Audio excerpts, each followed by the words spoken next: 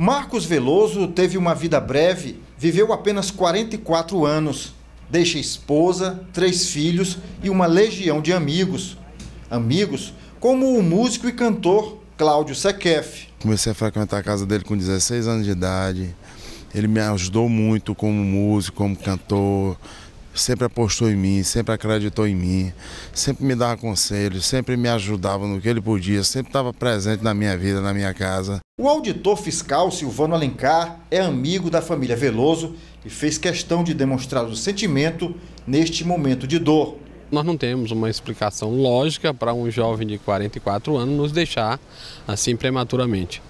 Então a gente tem que buscar uma resposta na fé, e acreditar que Deus fez o melhor para ele e para nós que vamos ficar aqui com saudade, mas na certeza de que ele será bem recebido. O corpo chegou ao cemitério às 10 horas da manhã desta segunda-feira. Aqui no cemitério da Ressurreição, uma celebração de corpo presente, onde os parentes e os amigos mais próximos puderam dar um último adeus ao empresário, ao músico e ao amigo Marcos Veloso. Foi um momento em que todos se uniram em oração. O músico Marcelo Leonardo, amigo e sócio por 19 anos, falou sobre a morte prematura do parceiro vítima de AVC neste domingo. Perda muito grande, né?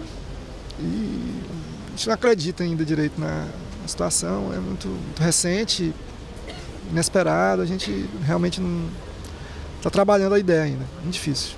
O cantor Ortiga Júnior resumiu o sentimento dos que privaram da amizade e do convívio com o empresário. Ele conseguia ser uma, digamos, um, um, um bálsamo nos problemas que a gente tinha no, no, no, no, dia a dia pela sua forma de lidar com os próprios e de ajudar a gente a lidar com os nossos.